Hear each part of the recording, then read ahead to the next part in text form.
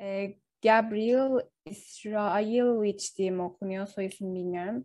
E, bir özel muayenesi var şu an. Çocuklar ve ailelerle çalışıyor. Daha önce de Toronto'da bir çocuk psikolojisi klinik araştırması olarak çalışmış. E, bu araştırmayı da e, kendi terapi seanslarına gelen ve oda terapi odasında saklambaçı uygulayan çocuklarla ilgili üç klinik araştırmayı sunuyor ve aynı zamanda günümüzde sorunlara neden olan bazı erken altta yatan ilişki deneyimlerini ortaya koyuyor. E, oyun kaybolma, görünüm, ayrılma ve yeniden birleşme ile karakterize edildiğinden muhtemelen bağlanma sistemini harekete geçiriyor ve böylece güvence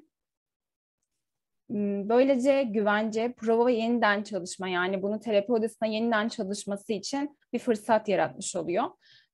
Her çocuğun oynama şekli aslında kişisel olarak neyin tehlikede olduğunu ortaya çıkartıyor. Bu sebeple saklambaç oyunu e, klinik müdahale için tanısal ipuçları ve hipotez sağlamış oluyor. E, saklambaç oyununun temelinde aslında kötü muamele, istismar, e, empatik uyumsuzluk, belki e, bu benlik duygusunun oluşmaması e, yatabilir. E, bu e, çocuklarla klinik çalışmasının ilk yılında e, saklambaç oynama istekleri çok etkilediğini iletiyor yazar. Diğer birkaç kişi, birkaç e, yazar, çalışma, araştırmacı daha var bununla ilgilenen. Örneğin Frankl e, bu bağlamda nesne kaybı ve aktarım konularını araştırıyor. E, Vlog çocukluk psikopatristinin yönlerini ve bu çizgide ilerlemedeki başarısızlıklar olarak anlamak için e, Kliman'ın oyunun gelişimsel ilerlemesi modelini kullanıyor. E, Phillips bir çocuğun asla bulunama, bulunamama korkusunu veya arzusunu yansıtmak için bu oyunu kullandığını düşünüyor. E, terapide bu oyunu başlatan 5 ila e, 8 yaşındaki çocuklar hikayenin e, bu tipik versiyondaki aslında saklanmaç oyununu normalde oynayan çocuklar gibi oynamıyorlar. Kendi yaşları gibi oynamıyorlar. Zaman içinde kapana kısılmış gibi son derece bireysel ve sorunlu bağlanma deneyimleri hakkındaki bir şeyleri ortaya çıkarıyor gibiler. E, bu yüzden aslında saklanmaç oyunu e, klinik müdahalede zengin ve metaforik bir teşhis ve ipucu e, kaynağı sağlamış oluyor.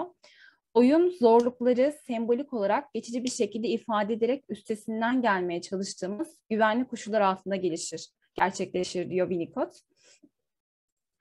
Bu nedenle aslında olası tüm dünyalarda bebek e, herhangi bir ayrılmadan önce annesiyle güvenli bir şekilde yüz yüze ve ayrılık da aslında yüz yüze başlayıp bitiyor. E, bunun en eski biçimi CE oyunu hepimiz biliyoruzdur e, küçük bebeklerle oynanıyor ve anne ilk başta yüzünü, gözünü kapatıyor çocuğa karşı bu şekilde oynuyor ve ilk tepkisi aslında çocuğun o eli çekmek oluyor gözünden. E, ama zamanla annesi bunun bir oyun olduğunu aslında ona işte kelimeleriyle, ifadeleriyle, işte eğlenceli tavırlarıyla belli ettiği için artık e, zamanla o çocuğun o ayrılığı hani gözlerini kapatma bir ayrılık var orada. Buna tahammülü artıyor ve artık kendi gözlerini saklamaya başlıyor. O oyunda pasif rolden aktif bir role geçiyor. E, böylece annesinin bu eğlenceli sorularını, o eğlenceli oyununu ortaya çıkarmış ona ona eşlik etmiş oluyor bu oyunda. E, burada beklenen yeniden görmenin tadına vardığında e, ve dolayısıyla annesinin bu e, oyundaki oynadığı bu zevkini arttırmak için onun da Aynı şekilde e, bu engeli, gözlerindeki engeli artmasının toleransı artmaya başlıyor gittikçe. E, buradaki kritik unsur aslında e, oyunda anne ve çocuğun birbirlerinin gözlerine bakması, oyunun böyle başlayıp böyle bitmesi. E, birbirimizi güven içinde görmenin kaybı ve yeniden kazanılması ile ilgilidir diyor yazar burada varlığını ilk kez hissetmiş olduğu, annesinin varlığını ilk kez hissetmiş olduğu bu bakıştaki, bu ilk bakıştaki görmedeki azalmaz bir hazın hatırlatıcı her daim hayatımızda ve bir dahaki sefere bunu aşık olduğunu yaşamış olacak çocuk. Ee, çocuk geliştikçe oyun daha ayrıntılı hale gelmeye başlıyor. E, detaylandırmalar da anne çocuk arasında hem mekan hem de zaman açısından artan ayrılığı içeriyor. Artık gözlerini kapatmak değil artık onun artık gözlerini kapatman onun görünmez hale getirdiğine inanmıyor ve e, bulunmanın gecikmesine karşı toleransı artabiliyor yaşı ilerledikçe. E, şimdi mesela annesi artık bir yere saklıyor, bütün vücudunu saklıyor ve e, yine annesi ona bir tahminde bulunuyor. Yine neredesin oğlum diye sorusunun bunu yine bekliyor çocuk. E, ama e, bu CE oyunundaki gibi hemen ilk denemede keşfetmiyor. E, keşfetmesine izin vermiyor. E, her iki durumda da aslında bulma, karşılıklı zevk, durum paylaşımı, uyumlanma, her zaman göz teması, gülümsemeyle ya da genellikle dokunma ve kahkahayla gibi taleplerle, bu taleplerin artmasıyla e, karakterize ediliyor oyun. Oyunun amacı güvence vermek. E, bir çocuk saklanırken aynı Çok... zamanda annesinde e, bir çocuk saklanırken aynı zamanda annesinde varlığına dair bir kız e, bir, buna dair bir his arıyor aslında ve yazar şey diyor burada e, çocuk annesinin zihninde bir ev tutarak orada bulunmuş olarak kalır diyor. E, güvenli bir çocuğun dünyayı keşfetmesi, oynaması ve yaratması bilişsel ve duygusal olarak gelişmesi daha olasıdır. E, saklambaç oyunu ile birlikte çocuk ve anne ve çocuk artık birlikte oynamadığında durmuyor aslında. Saklambaç bütün ömür boyunca devam ediyor. E, kaçınılmaz olarak bütün ilişkilerimizde ortaya çıkıyor. Farklı tezahürlerle ortaya çıkıyor. Ama oyun e, gelişimsel bir süre, uzun bir gelişimsel süreyle hayatımızın her devresinde ortaya çıkabiliyor. E, bu okul öncesi versiyonda güvenli olanla oyun oynama, çocuğun arkadaş e, artan eylemlilik duygusuna e, göre karşılıklı olarak genişletildiğinde bile hala yetişkin sorumlu.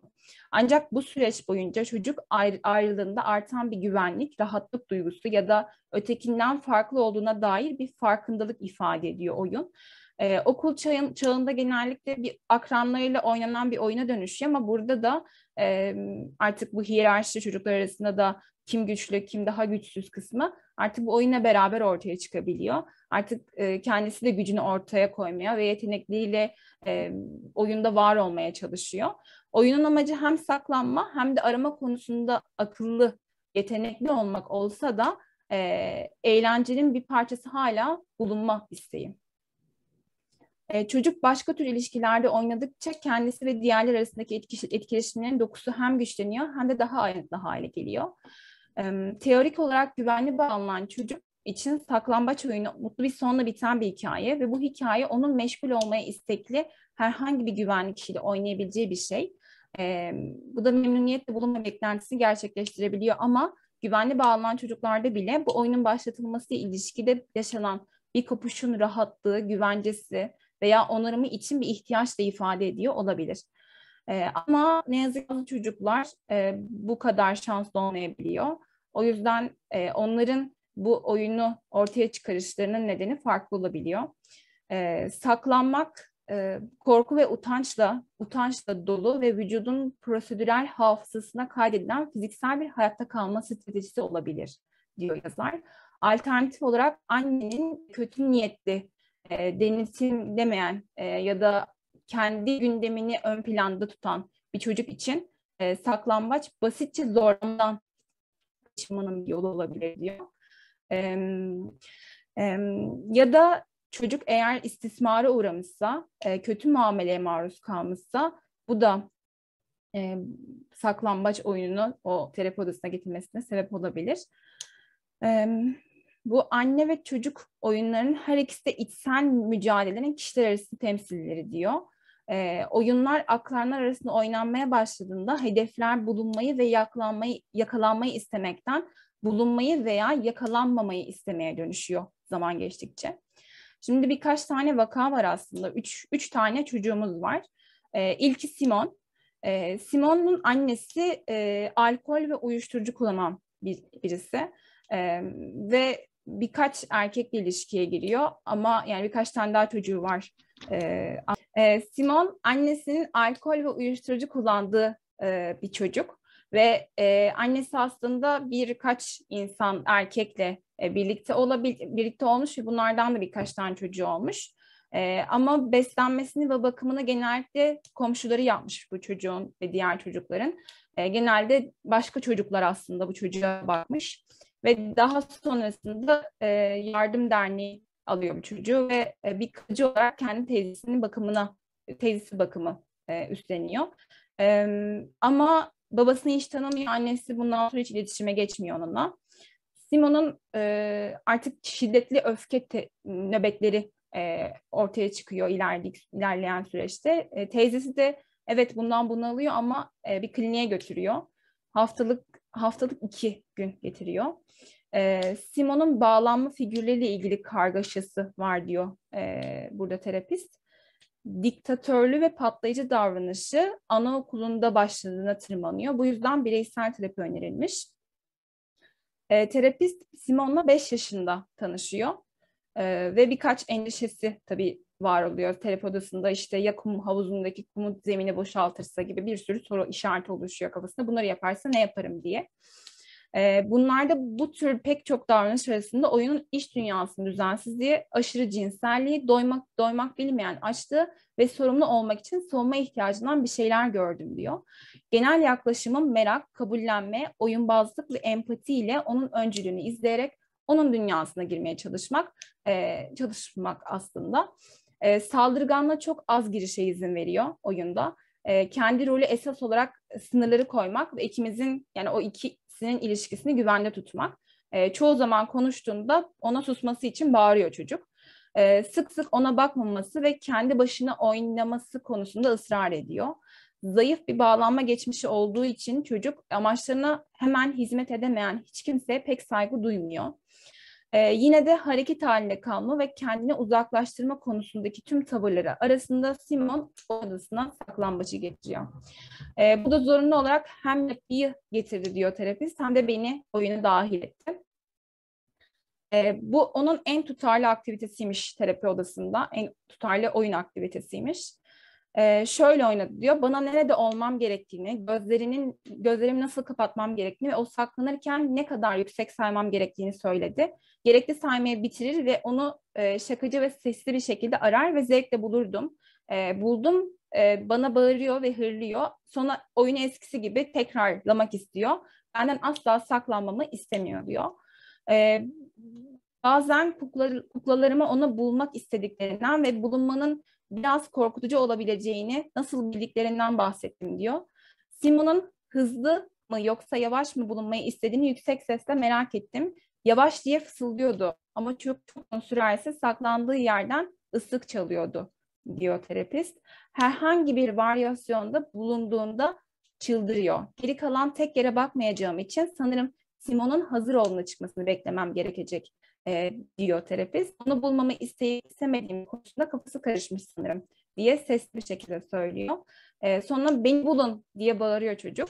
E, ve buluyor ama bu sefer de çocuk e, öfkeleniyor. Bir noktaya kadar Simon'un bulunmayı, bulunmaya direnmesini kötü şeylerin olacağına dair beklentisi olarak anladım e, diyor terapist yine. E, ek olarak da Simon'un kendi imajının ona uzattığım arzu edilen çocuk imajına uymadığını düşündüm, düşünmedim diyor. Yine de bu olabileceği her olası yerin altı, alt, arkasına, altına ve içine bakarken beni dikkatle incelerken ara sıra saklandığı görünmez görünüşlerini açıklıyordu diyor. Yani e, benim gözlerinden görmeye aradığım sevgiyi anlamaya çalışıyordu diyor. E, sonunda incitmekten, incinmekten korkuyor ve eksik bulunmaktan korkuyor aramam ve bulmam onun dikkati altında sadece iki kez kayıp gidiyor. E, bunlar da şunlar. E, ilkinde onu bulmaya çalışan cılız bir köpek yavrusu gibi oluyor oyunda. Benim burnum beni saklandığı yere götürdüğümde karnını bulan kafa, ya kafasına gidiyor çocuğun. Çocuk büyük bir zevkle gülümsüyor, e, kahkaha atıyor.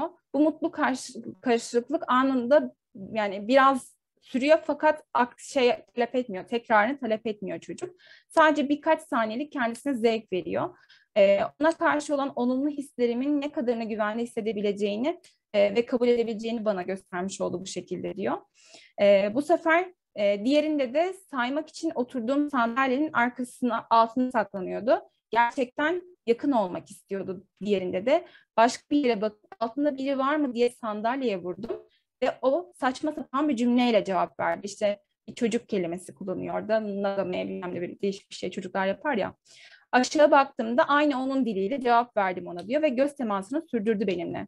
Sandalyenin altından çıkarak sonunda onu anlamama şaşırmış gibi tereddütlü ve fal taşı gibi gözleriyle yani şaşırmış bir şekilde yine bir çocuk diliyle bir şey söylüyor. Ee, bir annenin kucağındaki bebekle yaptığı ilk diyaloğu yüz yüze yapıyorduk ve eğlenceliydi. Bu bizim için aslında canlı bir özne, özneler arasılık deneyimiydi. Karşılaşabileceği ya da bulunabileceği bu alan derin korku ya da utanç anılarından kurtulduğu bir anda Simon bu oyunu oynayabildi. Ee, buraya kadar eklemek isteyen bir şey var mı? Ee, normalde çocuklar saklanırken ne zaman keşfedileceklerini bilmenin endişeli heyecanıyla e, zevkli zevk alıyorlar bu durumdan aslında ve hafif bir gerilim oluşuyor. E, bir dereceye kadar tüm oyunların e, öngörülebilirliği, kuralları, e, sürprizleri e, vardır. Fakat yetişkin çocuk arasındaki saklambaçta sürpriz tamamen bulucunun elinde olan zamanlamaya dayanıyor. E, bu yaşadığı travmanın doğasına çok benziyor aslında Simon'un. Kişisel ve başkası tarafından dikte edilmiş. E, bu ışıkta aslında Simon'un saklambaç oynamanın bazı yönlerden onun bir e, kriko ile oynamasına benzediğini söylüyor. Kriko ne demek bilmiyorum. Sürpriz son e, kolu çevirmekten, melodiyi mırıldanmaktan ve ne olacağını bilmekten ne kadar zevk alsa da korkuyu tetikledi diyor. Kriko herhalde böyle ses çıkartan bir şey mi döndürdükçe öyle bir şey mi? Olabilir belki.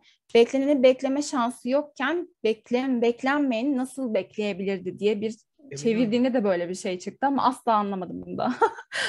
Buyurun Orhan Bey. K- Kriko şey e, hani arabanın tekerleğini değiştirirken arabanın altına konur da arabayı bir miktar yükseltmeye yarar. Hmm. Kriko o. E, ama belki hı hı. hani İngilizce'de bir çeşit oyuncak anlamına da gelebiliyor. Ee, bir zeka, olabilir. E, bir zeka oyunu daha çok böyle hani e, puzzle'ların puzzle'a benziyor. Şekillerinin böyle birbirlerine çevrilerek yapıldığı. Yani e, e, küplerle... Ama bir koldan bahsediyor Azcan. Hmm. Yani ben... bu, yine bir koldan ve bir me- melodiden bahsediyor. Yani öyle bir şey olabilir. Belki ses çıkartan bir oyuncak. Bilmiyorum. Anladım. Bir cümle saklandığı kutudan fırlayan sıkı yaralanmış palyaço gibi Simon'un annesi hem tahmin edilemez hem de korkutucuydu. Artık kalıcı bakıcısının karşılaştırmalı istikrarına rağmen e, hassas ve düzenleyici bir insan yani öteki hakkında daha fazla deneyime ihtiyacı vardı Simon'un. Simon'la çalıştığından beri de bu tür zayıf bağlanmaları olan çocukların kontrol etme izni olarak e, terapötik bir duruş yaşadıklarına inanmaya başladım diyor. Yönlendirici olmayan bir terapötik duruş. E, bu duruş ona çoğu zaman bazen etkileşimli bir ilişki deneyimi pahasına an be an tatmin sağlıyor. Burada aslında Simon'da daha çok e, şey daha çok dikkatimi çekmişti. Bu e, bebek gibi konuştuğu yer çok dikkatimi çekmişti aslında. Çünkü orada bir şeyi gerçekleştiriyor. Annesiyle kuramadığı o ilişkiyi gerçekleştiriyor o terapi odasında. E, o bebekken yapamadığı e, özneler arası iletişim, o deneyimi gerçekleştirmiş oluyor. Galiba en çok etkilendiğim kısım oydu. Emine Hanım. E, evet. Sanırım burada bahsedilen oyuncağı anladım. E, şimdi hı hı. kutusundan fırlayan palyaço demiştiniz ya. Hı hı. Öyle bir oyuncak var gerçekten. Adı da Jack in the Box. Kutudaki Jack. Kutudaki hmm. Evet belki de öyle bir şey olabilir böyle küp şeklinde bir kutunun kenarındaki kolu çevirince bir melodi çıkıyor. Hı hı. Bir süre sonra hmm. fıt diye böyle bir yaya bağlanmış olan genelde de palyaço olan bir figür kutunun üst kapağı açıp hı hı. Evet Nazcın olabilir o. Diyorlar. Hı hı. Jack aynı zamanda hani Türkçe'de demin bahsettiğim kriko denen alete de deniyor. O yüzden orada hani bir kriko kelimesi gelmiş olabilir bahsedilen oyuncak da muhtemelen küpün içinde kenarında kol çevrilen ve şey Evet evet biliyorum ben bu oyuncağı. Tamam anladım. E, Kriko olarak duymamıştım hiç yani. Adını bilmiyordum daha doğrusu. Oyuncağı görmüştüm ya, ama hiç adını bilmiyordum. Kutudaki Jack, Jack in the Box. Hmm. Orada Jack neden Kriko diye var çocuk? Araba aleti olan Kriko. Hı hı. Anladım. Teşekkürler Orhan Bey. Ee, devam edecek olursak. Şimdi e, burada genellikle saklanma arzusu bir utanç duygusundan kaynaklanır diyor. Ee, Hughes diye okunuyor sanırsam. Zayıf bir bağlanma ile aşırı utanç deneyimi arasındaki bir arasında bir ilişki olduğunu öne sürmüş. Aslında aşırı derecede utanmış, zayıf bağlanan çocukların karakteristiği e, olarak özetlediği semptom örüntüsü Simon'u tanım, tanımlamak için uygun olarak gözüküyor diyor. Aynı zamanda Garbarino var. Birlikte çalıştığı ergen zorbalar, tecavüzcüler ve katiller arasında utancın temel bir deneyim olduğunu kabul eder. E, Simon'un semptom örüntüsünde aynı bu e, kayıp çocuklar e, diyor bu Gar Garbarino'nun öyle bir kitabı da var hatta. E, buna benziyor aslında örüntüsü de. Kaybolmak, saklanmak gibi bir kopukluk halinde olmaktır. Bu kayıp çocukların yetişkin versiyonları da Gilligan'ın cahilce e, şiddet içeren bir nüfusla yaptığı yaşam çalışmasının konusuymuş. E, Simon gibi en küçük savunmasız çocuktan hapishanedeki en sert suçluya kadar bu insanlar onuru olmadan korkunç acılar çektiler. Hepsi için bulunma ne yazık ki öğrenilme, ifşa olma, utanma anlamlarına geldi. Hmm, bu şekilde söylüyor yani. E, Simon'un sonunda böyle bir yere geldik. Bu ilişkideki geçici bir bükülmeyi onarma girişimi de değildir. Onun için bu bağlanma dramının tekrar tekrar canlandırılmasıdır.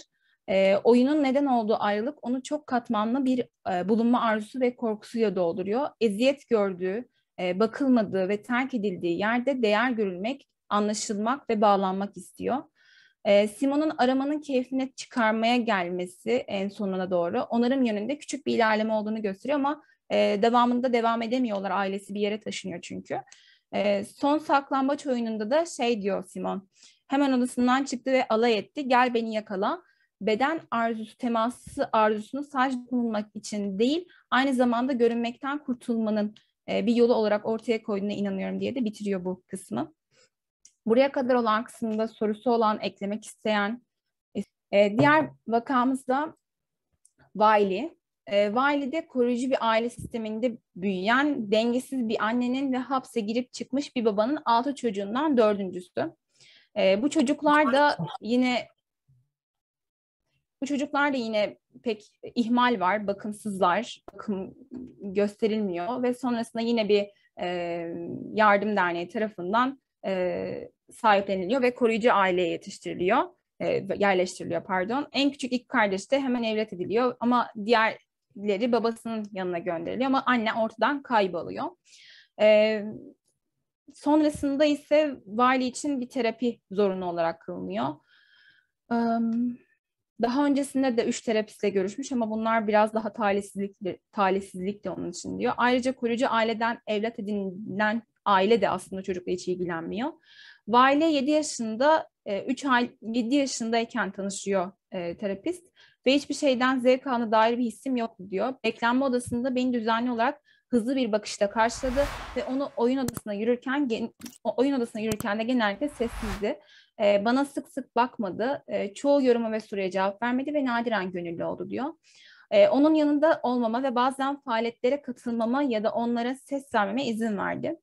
İlk seanstan itibaren Wiley e, oyun odasının kapısını açmak için benim anahtarımı ve kişisel çekmecesini açmak için başka bir anahtarı kullanma ritüelini oluşturuyor.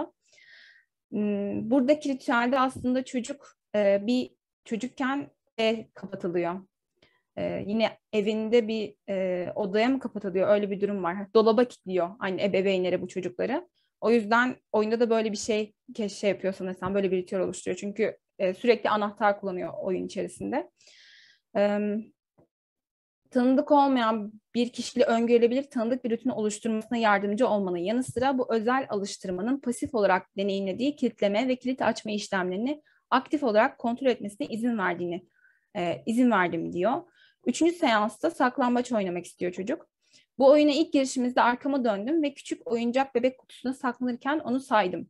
Arkamı döndüğümde oyuncak bebekleri etraftaki zemine boşalttığını ancak bir şekilde kendini kapatmadan önce kutunun kapağının üzerine bir blok yerleştirmeyi başardığını gördüm diyor. Çekmecesine bir şeyler koymak ve almak başka bir şeydi ama zorla hapsetme deneyimini göz önünde bulundurursak kendisini bir kutuya kapatmasına açıkçası şaşırdım diyor terapist. Ee, üstte bir blok olduğu için kutunun içinde olamayacağını mırıldanarak onu aradım ama sonunda onu başka bir yerde bulamadığım için içeriği kontrol etmek zorunda kaldım. Kutuyu açtığımda bir oyuncak gibi bebeksiz, bebek gibi hareketsiz kaldı. Ben böyle bir bebeğe nasıl herkesin bayılacağını söylerken, ya işte kim kim sevmez böyle bebeği diye e, bebeğe söylüyor. Hala doğmuş pozisyonu koruyor çocuk.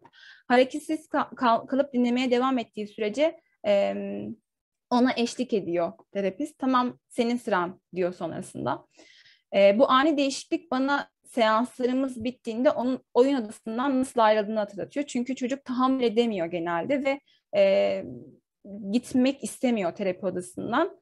E, başka bir faaliyete başlıyor ya da saati kırmaya çalışıyor. Sonra da yeni bir şeyle meşgul olup birdenbire tamam gidelim diyor terapist sonrasında. Ee, ilk saklambaç oyununda benim saklanmamı bekliyordu. Ee, yaptım ve beni çabucak buldu. Yine bu sefer dolaba saklandı. Tıpkı kutuda olduğu gibi kıvrılmıştı. Bu seansın sonunda onu küçük kapalı olan alanlardan kurtaracağımı keşfetmişti. Her şey oldukça gerçekçiydi. Bulunma ile ilişkili saptanabilir bir etki yoktu. Sanki oyunu oynamak için ödemesi gereken bir bedelmiş gibi teklif etmesi gereken bir şey olarak yaşadığım karışıklığı karışıklık zihnime not ettim diyor terapist. Buna sözde mütekabiliyet deniyormuş. Çünkü oyunun nasıl gitmesi gerektiğini biliyor ve kuralları e, kurallara uyuyor çocuk. Wiley'nin duygusal ve diğer zihinsel durumlar teması koptuğu için oldukça mekanik bir sahte benlik kullandığının kanıtı olarak görüyorum bunu diyor. Görmezden gelinen çocuklar çocuklar dünyaya dünyanın ihtiyaç duyduğunu düşündükleri ya da dünyanın elinden aldıklarını düşündükleri şeyleri adalet gibi e, verme eğiliminde oldukları kabul edilmiş. E, iki seans sonra tekrar oynamak istiyor çocuk. Bu sefer eğer gözlerimiz bulun, bulun, buluşmazsa üstü kapalı diye yani buluşmazsa bulunmadık e, diye üstü kapalı bir kural koyuyor çocuk. Bulunduğunda da verdiği, bulunduğunda ise verdiği yanıt beni hızla döndürerek benden kaçınmaktı. Simon'un korkusunu ve belki utancını da sergilememiş olsa da geçmişi birinin onu bulmaktan duyduğu zevkin ilk deneyimini yaşadı, yaşamadığını gösteriyordu. Sonraki hafta Wiley e, ittiği iki sandalyenin altına saklanıyor ve seans boyunca birbirlerini görmüyorlar. E, ve sonunda ajan ajansına yani bir kendi o bulunduğu yere, o saklandığı yere girmek için e, bir not yazıyor. Sandalyenin altına da koyuyor. Kendini bulunmaya hazır hissediyorsan bir kez tıkla, değilse iki kez vur diyor. E, iki kez tıklatıyor. Bazen küçük alanların ne kadar korkutucu, bazen de rahat olduğunu e, düşündüm diyor terapist burada. Bir an sonra vali anahtarlar diyor. Anahtarları istiyor ve anahtarları veriyor. Saklandığı yerdeki çekmecenin kilidini açıp e, o çekmeceyi açtığını duydum diyor. Daha sonrasında su istiyor ve e, yine suyu da veriyor. E, sonrasında bir tane fırça istiyor ve e, orada şey yazıyor. Çocuk e, bir not yazıyor. Teşekkür ederim yazıyor notada. Ortaya çıkmaya hazır olduğunda kısaca gözlerini görmeme izin verdi. Bana verdiği beyaz mesaj, beyaz olmayan gazete kağıdına küçük, kısık bir ses gibi neredeyse görünmezdi diye not almış terapist burada. Sonraki hafta oyunumuz için dolaptan battaniye çıkardı ve kendi etrafına sararak Voldemort'u ilan etti kendini. Bana da Harry Potter olduğumu ve onun için e, savaşması gerektiğini söyledi diyor. Onu bulduğumda beni öldürecekti. E, bunu söyledi diyor. O, onun kurallarına uydum ve birçok kez öldürdüm ama her seferinde gücünü beni hayata döndürmek için kullandı. Oyunun oyun planı onun için bulunma, bulunmanın tehlikeli olduğunu bildiriyor aslında. E, oyuna uyarak savunmasız olmayı kabul ederek kendisini korumasının sorun olmayacağını ve gerçekten tehlikede olmadığımı bildiğimi söyledim. Sonunda beni dirilterek ona zarar vermeyeceğimi, güvenebileceğimi ortaya koydu diyor. Sonrasında rolleri değiştiriyorlar oyunda. Ee, okulla ilgili de daha sonrasında e, ne yapması gerektiğini e, anlatıyor. Ee, okulla ilgili de bir aylık iptalin ardından döndüğünde hemen saklambaç oynamak istiyor çocuk. Belki de hala onu bulup e, bulmak isteyip istemediğimi merak etti. E, ve bunu test, test etmek için bulmak daha zor hale geldi ve yerleri değiştirerek hayal kırıklığını gözlemleyerek beni kandırdı diyor. E, ve onu bulduğumda da e, hani çok fazla seviniyor. Bu sevin terapist seviniyor ve bundan çok zevk aldığını gösteriyor çocuk. Gözlerime bakma konusundaki güvensizliği karanlıkta benimle bir ilişki kurma çabalarına yol açtı. E, Wiley bulunmanın bir nebze de olsa zevkini tatmaya başladı. Belki de onu bulmaktan duyduğum zevkin bir kısmını kendisine katlıyor. Bu özellikle e, öfkeli olduğu zamanlarda geçerli. sanki gözden ırak çömelmek kendini düzenlemesine, öfkesini kontrol etmesine, e, kötü duygularının onu yok etmeyeceğini e, ve yine de onu bulmak istediğime dair ona güvence vermesine yardımcı oluyormuş gibiydi bu oyun diyor. Bir keresinde de e, onu malzeme dolabına sokmadığım için bana kızdı ve sonrasında yine oyunu tanıdı diyor. Yani sürekli aslında çocuk bir yerleri kapatıyor, dolaba kapatıyor kendini. E, o çocukluğundaki yine e, deneyimini sürekli aktarıyor burada. O, o şekilde oynuyor oyunu. E, daha sonra oyunu şey oynuyor. Kendisi değilmiş gibi. Farklı bir kimlikle oynamaya başlıyor. E, tanıdık görünen bir çocuk çıkıyor ve merhaba diyor. E, benim adım Marshall. E, sanki daha önce onu hiç görmemişim gibi odanın içine dolaşmaya başlıyor. Wiley'nin reddedilmiş ben olmayan benliğinin enkarnasyonu olarak bu yeni karakterde yaşayarak bir şeyler fırlatıp atmaya başlıyor. Oyun onun bölmesi, bölünmesine izin vermiş terapist. Görünmez hale gerek bölündüğümü hissetmiş gibi bir şey oluyor sanırsam oyunda yine. E, daha sonrasında e, bu şekilde odadan ayrılmak istiyor. Farklı bir kimlikteyken, Marshall'ken odadan ayrılmak istiyor. Terapiyi bitirmek istiyor ama terapist diyor ki hayır diyor sen bu kimlikten çıkmadan oyunu bitiremeyiz. E, ısrar ediyor hala ve tartışıyorlar. Sonra gidip bu kimliğiyle tartışıyor. E, sonra onun da onunla da gelebileceğini söyleyecektim ki diyor. E, bu çocuğun sonrasında vazgeçiyor çocuk. Orada tartışma yapıyor. Yüksek sesle Wiley ile uzun bir tartışma yapıyor ve burada Marshall'ın geride kalacağını, e, saklanmakta, görünmez ve beklen, beklemekte olduğunu belirtiyor. Hepsinin birlikte gidebileceği bir yol bulacağını ummuştum. E, ama sonra Wiley göründü. Sanki Marshall hiç orada olmamış gibi aşağı inmeye hazırdı. E, bu arada kabul ettiğim oyun odasında ve saklambaç oyunu çerçevesinde Wiley'nin öfkeli bir öfkeli kısmı güvenli bir yere sahip diye de sonlandırıyor bu kısımda. Yani aslında hepsi de farklı şekilde yani saklambaç aslında belli bir tipte bir oyun ama hepsi farklı bir şekilde bunu yansıtıyor. Kimisi dolaba saklandı, e, kimisi çok bulunduğuna tepki gösterdi, öfkelendi. Yani hepsinin gösterdiği tepki, oynadığı şekli de çok farklı. Burada da zaten e, onun e, yaşadığı şeye bağlı olarak şekilleniyor. E, diğer vakamıza da geçelim isterseniz. Daniel var. Daniel'da e, e, bu çocukta şey ailesi biraz farklı. Yani böyle diğerleri gibi ta, şey değil, ihmal edilmiş çocuk değil. Ama annesi biraz daha çocuk çok duygusal ve alışılmadık, alışılmadık derecede hassas.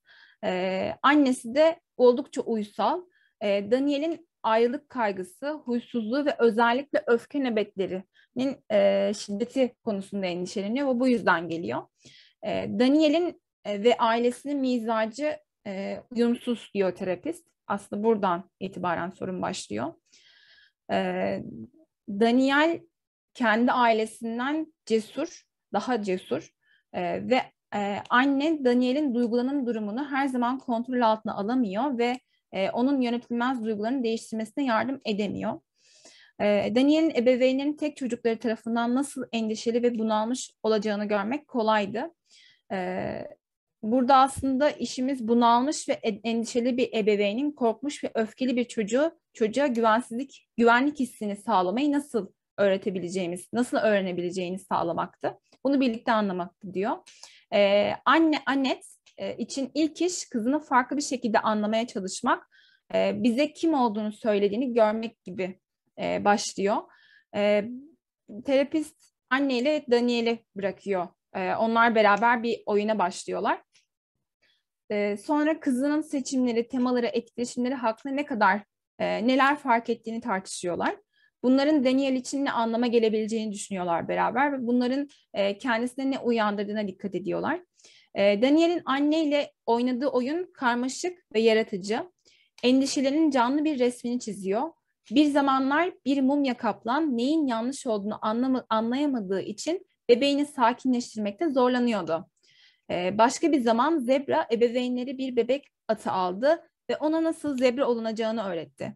Ee, Daniel'in ebeveynleri onu onun kendisi olmamasını o kadar mı çok istiyorlardı ki e, onlar gibi mi olmak zorundaydı diyor. Terapist burada böyle bir not almış. E, çünkü e, sürekli başka bir şey olmaya çalışıyor oyunlarda da. Bir şekilde itaat ederse bu annesinin sıkıntısını hafifletir mi? Başka bir zaman e, Daniel e, doktoru oynuyor ve annesinden de ölmekte olan dört bebeğiyle gelmesini istiyor. Sonra da bir hafta sonra gelemeyeceklerini söylüyor onlara. Burada annesine karşı keskin bir öfke var. Daniel at olmayı öğrenen zebra gibi başka biri olabilseydi kabul edilebilir olabileceği sonucuna vararak adlandırılamaz bu sıkıntısına çözüm arıyor gibiydi. E, hasta bebekler sorunu bir çözüm bulma umudunu yükselterek ve ardından dramatik bir şekilde onları alt ederek annesine keskin bir öfke sergiliyor burada. Ne de olsa ölmekte olan dört bebekle ne yapacağını bilmeyen annesinin sıkıntısını hafifletmek onun işi mi? diye terapist burada not almış. Ölmek üzere olduğunu hisseden bebeklerin sıkıntısı ne olacak? Ee, bunu düşünmüyor Daniel burada. Daniel annesini ilk kez sakladığında o kadar hızlı saydı ki Annette'nin annesinin sandalyenin arkasına geçmesine zar zor vakit kalmıştı. Ee, Daniel onu görünce eleştiren bir tavırla şöyle söyledi. Bir dahaki sefere daha hızlı, daha iyi bir yerde saklanmalısın. Agresif davrandığını annesini imkansız bir duruma soktuğunu ve geçemeyeceği, geçemeyeceği bir sınav e, daha veriyor orada ona. Sürekli annesini zor duruma sokuyor aslında.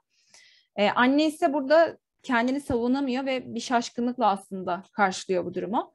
E, Daniel odanın bir bölümünde akıllıca ses çıkartıyor ve e, sonra kendini annesinin paltosunun başka bir bölümüne saklıyor. Anne burada şakacı bir şekilde arıyor onu. E, Daniel ise e, paltoyu çıkarttığında annesine korkutmak için üzerine atlıyor. E, ve senin tarafından sarılmak ve teselli etmek istiyorum. Ama beni rahatlatıp kontrol edememenden endişeleniyorum ve bunu kızdırıyor e, diye not alıyor burada terapist. E, sonrasında direkt zaten çekiliyor çocuk. Çok fazla sarılmıyor. E, daha sonrasında yine bir puf sandalyenin altına saklanıyor. Burada da bir siyah at kuyruğu dışarı bırakıyor. E, bir oyuncağı. E, ama annesi anlamıyor orada olduğunu ve o puf sandalyenin üzerine oturuyor. E, Daniel'in nerede olduğunu işte orada mırıldanıyor. Nerede bu çocuk diye mırıldanıyor. E, ama çocuk orada çok kızıyor. E, sandalyeye tekme attın ve benim bir hiç olduğumu düşündün diyor. Bu şekilde sürekli hakaret ederek annesini tekrar tekrar test etmeye çalışıyor. E, aslında yine bir, bir sandalyenin arkasına çöm yine saklanıyor ve yine böyle bir at kuyruğunu yine o siyah at kuyruğunu e, ortaya işte annesini görebileceği bir yere koyuyor. Çünkü orada o çocukla beni karıştırır mı acaba e, düşüncesi oluşuyor çocukta. Belki de Daniel annesinin onu umduğu zaman e, görememekten duyduğu hayal kırıklığını gözlemlemek istiyor. Yani beni göremezse acaba endişelenir mi? Acaba hayal kırıklığına uğrar mı? Bunu görmek istiyor aslında. E, daha sonrasında annesi e, ondan burnunu sümkürmesini istiyor. Ama çocuk istemiyor her defasında ve çılgına dönüp bir şeyi kırıyor. Ardından annesinin hoşnutsuzluk duyarak kendisini uzaklaştıracağından korktuğu korkuyor, korktuğu için e, deli olsa bile, çok sinirlense bile annesinin onu bulmak isteyeceğinin kanıtını ararcasına yine saklambaç e, oynamak istiyor. E, ama bu sefer bulununca rahatlıyor, kahkahalarla gülüyor. E, saklandığı yerden çıkarak hatta aynanın karşısında daha çok gülmeye başlıyor. E, kendini izlerken gülüyor. E, saklambaç tedavi boyunca, bu terapi boyunca e, devam ediyor ve şekli değişiyor. Oyunda öfkede dramatik bir azalma ve yeniden bir, ara, bir araya gelmede yani bu bulunmadaki zevk de artış oluyor. E, bu değişikliklerle birlikte öfke nöbetleri ortadan kalkıyor. E, annesiyle birlikte bu göz temasları kurduğu için oyunda fiziksel yakınlık ortaya çıkıyor. E, anne de kızıyla daha çok ilgilendikçe nasıl iletişim kuracağını, e, nasıl iletişim kurması gerektiğini öğrenmiş oluyor. E, aynı zamanda nasıl oyun oynaması gerektiğini de. Hmm, hatta bir öğleden sonra annesine anlatmış bunu. E, bir keresinde ben küçük bir kızken annem eve iki tane e, do, annem iki tane eve doldurulmuş maymun getiriyor ve biri kendisi için çocuk Daniel için birisi erkek kardeşi için ama Daniel aslında e, kırmızı çizgili olanı istiyor ama annesi ona turuncu çizgili olanı veriyor. E, ama söylemiyor annesine zaten hangisini isteme, istediğini. e, annemin bana bir seçenek sunduğunda ona hangisini tercih ed- ettiğimi söyleyecek kadar, söyleyemeyecek kadar utangaçtım. Ve bunun yerine umursamadığını düşünüyordum. O yüzden söylemiyor çocuk aslında burada annesine. Annesi de burada bayağı üzülüyor, şaşkınları ağlıyorlar falan. Ee, bir sonraki seansta da anne ve kızı karakterlerin arasında bir prenses dahil olmak üzere çok fazla saklanma ve aranmanın olduğu e, oyunlarla ilgileniyorlar. E, seansın sonunda da çocuk en sevdiği kısmı bu prensesin mağaradan e, kurtarılması kısmını çok sevdiğini söylüyor. E, Daniel kısmı da bu şekildeydi. Daniel'de sorunuz var mı? Böyle çok atlayarak gittim. Bilmiyorum nasıl da şeyin kısmı. Çok teşekkür ederiz. Sadece biraz böyle ağır bir makale gibi geldi bana. Hani e, en baştaki kavramlarla oradakileri, o hı. makaledekileri böyle em, içselleştirmek. Yani keşke hepimiz daha önceden okuyup gelseydik ma- makaleyi. O, o zaman daha böyle e, etkili olurmuş gibi hissettim ben. Bence de ve derin bir konu aslında. Yani bence üzerine birkaç defa çalışma yapılabilir. Çünkü çok da güzel bir konu. Ben makaleyi okurken etkilendim bayağı ama burada aktar- aktarmak biraz daha zor oluyor. O yüzden sizin de katkılarınız çok önemli bu kısımda.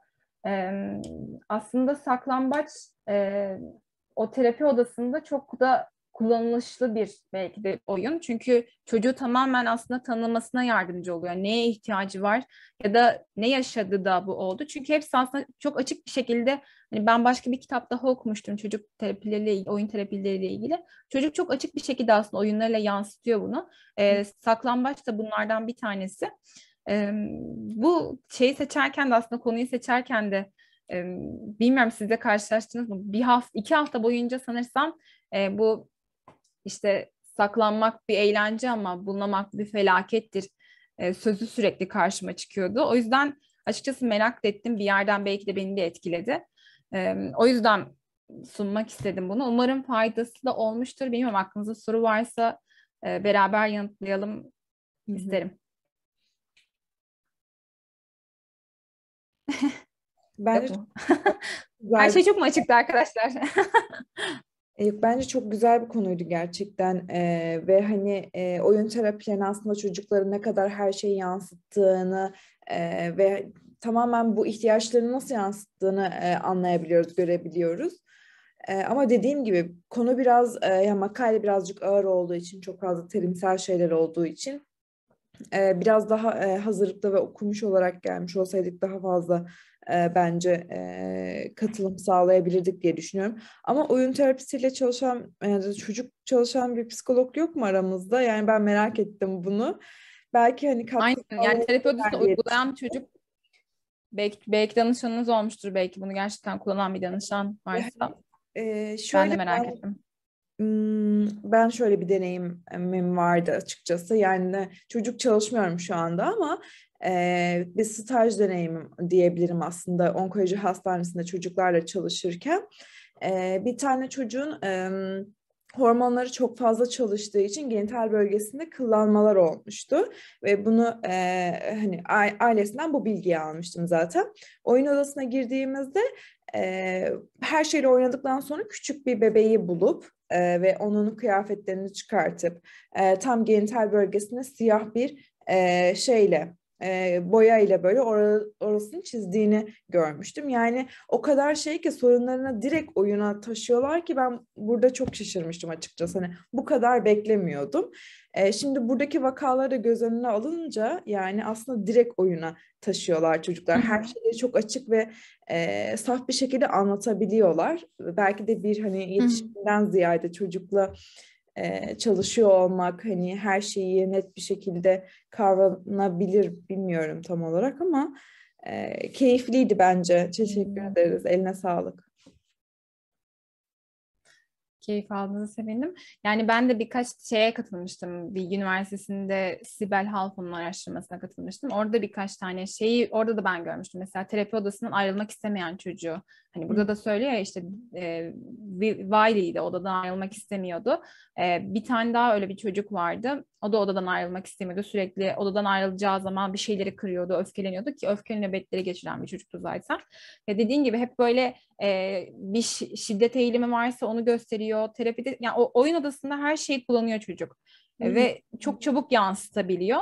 Ama orada da sanırsam o terapötik ilişki çok önemli. O güvenli bağlanmayı gerçekten gerçekleştirebiliyorsa o terapiste ilk ilk zaten ilk seansta hemen her şey yapmıyor. Eğer çok tamam. yansıtan bir çocuk değilse ama e, o ilişki gerçekleştikçe çok kolay bir şekilde sonuç alınabiliyor sanırsam. Hı hı hı. Bilmiyorum ben diyorum gerçekten çocukla çalışmak çok kıymetli. Çok da yıpratıcıdır muhtemelen çünkü e, onun dünyasına ulaşıp onun sorunlarını görüyor olmak beni ben bu makale okurken bile çok üzüldüm her birisi açısından. E, ama bunu gerçekten terapi odasında yaşıyor olmak muhtemelen çok daha fazla yıpratıcıdır. O yüzden çalışan varsa merak ediyorum açıkçası. Yoksa da umarım aramıza katılır böyle birisi. Bir de burada çok önemli olan şey aileye verilen psikoeğitim değil mi? Sonuçta olarak hani oyun terapisinin şey makul şu mu yani bunu kavramak istiyorum bir yandan. Ee, çocuk e, tüm şeylerine yansıtıyor biz orada. Evet bilgi edinebiliyoruz çocuğun duygularına karşı anlayabiliyoruz. Daha sonrasında bununla ilgili aileye psikoeğitim verme süreci ve iyileşme süreci bu şekilde mi oluşuyor? Yoksa sadece oyunla da ilerleyerek e, iyileşme oluyor mu? Şöyle bir tane kitap okumuştum. Orada da aileyle ilgili bir problem vardı. Ailesi çocuğu anlamıyordu. Çocuk babası daha çok anlamıyordu çocuğu. Ee, sürekli bir baskıcı haldelerdi. Ee, orada da o ilişkiyi düzeltmedikçe evet bir şeyler kalıyordu. Çünkü ailenin gelişmesi gerekiyor ama aynı zamanda psikoeğitimle giderse dediğin gibi muhtemelen çok daha kolay sonuç alırlar. Çünkü mesela Daniel'de anne iletişim kurmayı bilmediği için çocuğa ulaşamadığı için aslında sorun tekrar ediyordu. E, öfke nöbetleri vardı çünkü çocuğa ulaşamamıştı anne. Çocuğu bulamıyordu aslında işte o saklandığı yerden çıkartamıyordu çocuğu. E, o yüzden de e, o ilişki sürekli bir kısır döngüde kalıyordu ve çocuk öfke nöbetleriyle bunu ortaya çıkartıyordu. Beni görün istiyordu çünkü. E, öyle olunca biraz daha evet bence de psikoeğitimle ilerlemesi lazım. Belki filial terapi e, de öneriyorlardır bilmiyorum ama bütün hepsinde aynı şey yapılmıyordu. Mesela benim o Sibel Alfon'un e, o, o çalışmada velilerle de görüşme yapılıyordu. Velilere de nasıl e, ne yapması gerektiği anlatılıyordu mesela. Anladım. Yani çok önemli bir etken diye düşünüyorum ben de çünkü. Hı hı. Yani dediğim gibi o kitapta da çünkü iyileştirici olan şey evet terapi odasında gerçekten çocuk iyileşmişti. Çocuk son, sonuç çok güzeldi hatta. İlk başta gelen çocuk asla değildi ki, ki muhtemelen oraya getirmeselerdi çok daha farklı şeyler olacaktı. Ama annesi zaman geçtikçe anlamıştı mesela. Babası da babası babasıyla ilişkisi muhtemelen düzelmemişti ama e, annesiyle olan ilişkisi, düzelmişti o kitapta da. Anladım. Çok güzel. Çok teşekkür ederiz tekrardan. Ellerine sağlık. Rica ederim. Ee, e, rica ederim arkadaşlar. Sorusu olan varsa e, sorusunu alabiliriz yoksa bitirebiliriz. Aynı Yok galiba. Bugün pek meraklı bir gün değil galiba. ya da her şeyi anlattım. her şeyi anlattıysam mükemmel. o zaman bitirebiliriz toplantıyı. Çok teşekkür ederiz katılan arkadaşlar.